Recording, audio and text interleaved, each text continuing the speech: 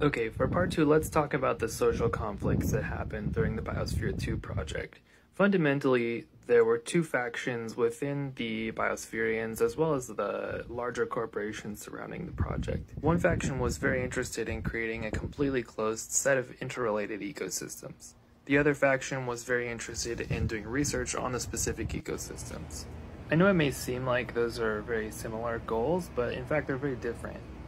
As with many experimental communities, the problem is fundamentally the reason why they're doing the project.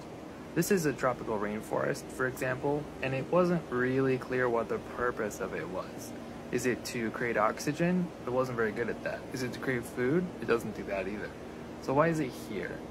If, for example, we can agree that the purpose of the rainforest is to create oxygen for the environment, then it makes sense to focus on doing that if the goal is to create a space for as many species as possible, that's a different project.